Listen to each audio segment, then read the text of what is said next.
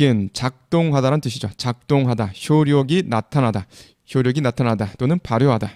The air conditioning kicks in. 에어컨이 작동됩니다.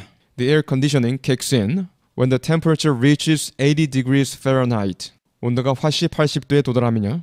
The air conditioning kicks in. The air conditioning kicks in. 에어컨이 작동됩니다. The medicine took some time to kick in. 그 약은 시간이 좀 걸렸습니다. To kick in. 효력이 즉 효과가 나타나는 데는 The medicine took some time to kick in. The medicine took some time to kick in. The new rules kicked in last year. 그 새 규정은 작년에 발효했습니다. The new rules kicked in last year. The new rules kicked in last year.